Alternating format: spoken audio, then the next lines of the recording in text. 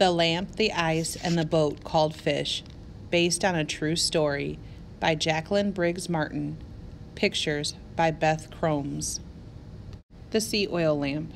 In the high north, in the summer, when day never ends, an Inupiaq grandmother walked out from her house, one of the last of the old sod houses. She walked under the eye of the sun and the flying raven, and she listened to the song of the land, the wide sky, the sound of the wind, the ptarmigan. She knew she would walk many hours searching for moss, moss to be wicks for the sea oil lamp, the lamp carved from stone by her husband long ago when they both had been young. It was his first gift to her and was as much a part of the old woman as her voice or the ugruk sewing case she always carried. Now she would be the one to give the lamp away. It would go where she could not go. The old woman gathered many pieces of moss, then sat in front of her house. Her granddaughter sat beside her, and they worked together, shaping the moss into rope like wicks for the lamp. The grandmother sang of the place, the wide sky, the sound of the wind, the ptarmigan. She told the girl, You are going on a boat for a long time. Take this lamp and the song. Take part of your home. Then the girl went with her mother, father, little sister, and her father's friend.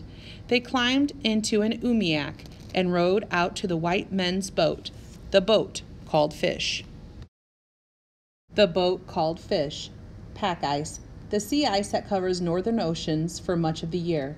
The boat was built in the 1880s to carry salmon and was named Karluk, Aleutian for fish. After a while, it carried crews to hunt bowhead whales.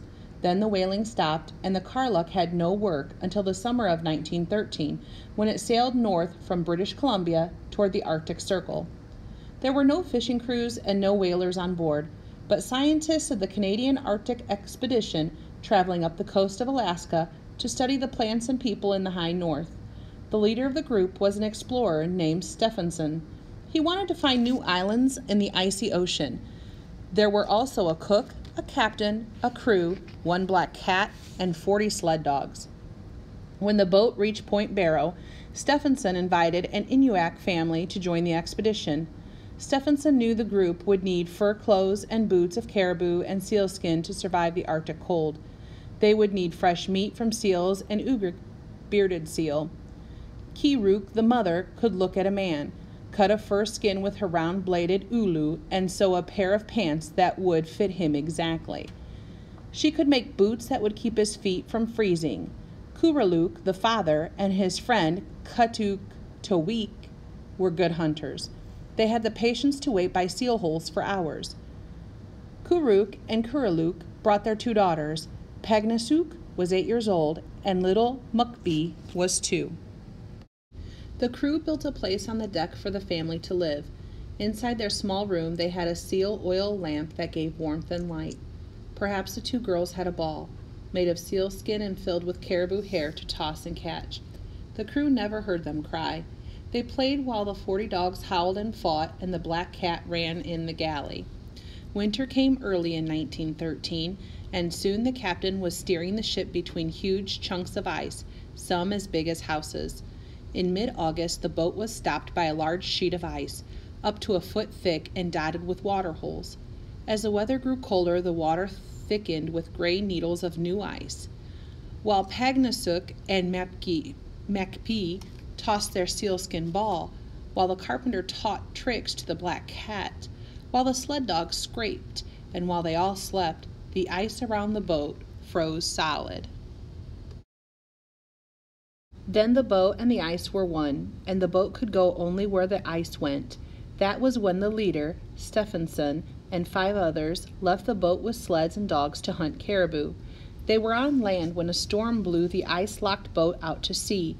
Stefansson sent a report to the government in Ottawa that the Karluk would probably be sunk by ice, but he was sure its passengers would survive. Then Stephenson was off to look for new land. 2. Locked in the ice. Floe. A piece of sea ice. Floes can vary in size and grow up to many square miles. In one winter, an ice floe might grow to a thickness of one yard. An ice floe will continue to grow each winter. If it is not crushed by a larger piece of ice, it can reach a thickness of 30 feet or more. That was when the boat's captain, Robert Bartlett, became the leader. That was when Kiruk sewed every day. No one could tell what would happen. Would the boat sink? Would they have enough food? Would they be able to stay warm in the cold, dark winter? As long as the ice was solid, the boat was safe. If the ice should crack, then wind or water would be strong enough to push a piece of ice through its wooden sides and the boat would sink. I do not think that Pagnasuk and Mugpi worried about the boat.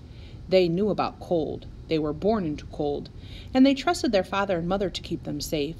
I think they sat by the lamp and played with their ball, and perhaps Kiruk had made them dolls from sealskin. She knew the secrets of sewing and might have made tiny fur parkas for their dolls. While they played, Kiruk sewed boots for all the people on the boat. For the leg of each boot, she used the skin from caribou legs that she had scraped until it was soft and strong. For the sole, she used the skin of the ugruk. She shaped it by chewing it, then pinching it with her thumb and fingers. When the shape of the sole was just right, she set it to dry. It took Kiruk a whole day to sew one sole to one boot top, but when she was done, the boots were strong and watertight. Without those boots, feet would freeze and people would die. Kiruk used her ulu to cut fur skins for pants and parkas for the crew and the scientist, and she showed them how to sew their own clothes. They called her Auntie. Every day, Kuraluk and Kataktovik went out on the ice to look for seals. They brought back enough fresh meat for the 25 people on the Karluk, the 28 dogs, and the cat. For three months, the boat continued to drift in its icy trap, wherever the wind and water took it. The crew and the scientists used boxes and barrels to build the walls of a house on a large ice floe not far from the ship. That ice was 30 feet thick and half as big as a football field, able to stand a good deal of knocking, the captain wrote later. In December, while the ice shifted, groaned, and scraped around the him, Kuraluk worked in the Arctic twilight and built a house of snow next to the box house. Mr. Hadley, the ship's carpenter, made three long sledges or sleds. They all knew that if the ship did sink, they would have to haul their clothes and food supplies to land. They kept themselves busy and even had holidays. When Christmas came, the captain, the Inupiat, the scientist, and the crew feasted on oysters and bear steak, cake, and biscuits. The captain gave Auntie a comb, a looking glass, and a new dress. He gave Mugpi and Pagnasuk new dresses too. And he gave Kuraluk and Kataktovik new hunting knives. They ran races and had a tug of war, and everyone was jolly. No one talked about when the boat might sink. On New Year's Day, they went out on the ice to play soccer. Kiruk was goaltender. The air was so cold the captain could not blow the whistle. Nine days later, at the end of the day, when Pagnasuk and her sister may have been sitting by the seal oil lamp, listening to their father tell stories of a ten legged polar bear, they heard a loud, splitting sound. A large, sharp point of ice was breaking through the side of their boat. All hands abandon ship, the captain called. He sent Kiruk and the two girls to the box house to start a fire in the stove so all would have a warm shelter. The others carried supplies off the ship and onto the ice floe. The carpenter took the black cat to the box house in a basket. They could not see where they were going in the dark night and blowing snow. The ship's doctor fell into the sea and had to be pulled to safety. After everyone else had left the Karluk, Captain Bartlett sat in the galley next to the stove and played records on the ship's record player. He called it his duty to stay with the ship until it went down. When each record was finished, he threw it in the stove's fire. The captain played music all night long, and all the next morning, slowly, slowly, water filled the ship. By afternoon, he knew it was time to leave. He put on the last record, Chopin's Funeral March, and stepped onto the ice. He took off his hat and said goodbye to the boat. Everyone stood outside to catch the Karluk as it disappeared underwater. By the next morning, the ice was solid. The Karluk was locked under the sea. The 13 crew members, the captain, the six scientists, the Inuak family, their friend Kataktovik, and dogs and the cat were left on an island of blue ice in the cold, dark Arctic. 3. The Island of Ice. The sounds of ice Cracks that form in the ice and widen into leads or lanes of open water often quickly freeze over with new ice. As new ice is pushed against the old ice, the weaker piece breaks. The constant pushing, breaking, and piling of ice results in groaning, scraping, thrumming sounds. Sometimes when the ice cracks, it sounds like a gunshot. They called their place Shipwreck Camp. The box house on the floe was warm and snug. It had only one room, smaller than a schoolroom. At one end of that room was the kitchen with a cook stove. Another stove sat in the center of the room. On three sides, built against the wall, were bed platforms made of wood taken from the boat. Mugpi, Pagnasuk, and their parents had their own sleeping room, with its stove and bed platforms, made of snow, connected to the box house, and they all ate together. Once they were all settled in a shipwreck camp, Kiruk and the men began sewing again. Without the right clothes, people could not make the long journey over the sea ice to Wrangel Island. They sewed the fur clothes by hand and had two sewing machines for the other clothes. They used lanterns and lamps for light. There was still no sun, only twilight in the middle of the day. But they must have had the seal oil lamp. The burning seal blubber would have made their little room on the ice smell like their home near Point Barrow. While they listened to the eerie music of the ice, Perhaps Pagnasuk watched the flame and sang her own song of the wide sky, the sound of the wind, and the ptarmigan, two little Mugpi, and the sealskin dolls. One day in January, Kuraluk, Kataktovik, and five of the crew left to find Wrangel Island. The Inupiaq men knew how to travel over sea ice with dogs and sleds. The captain wanted four crew members to stay on Wrangel Island and begin setting up a new camp. The other three could help on the journey and then return to ship, shipwreck camp. While they were gone, the sun came back to the sky, ending 71 days of twilight and dark. Everyone in the box house celebrated with oyster soup. After supper, they gathered around the stove. Someone made music with a comb, and the others sang. The captain liked to dance.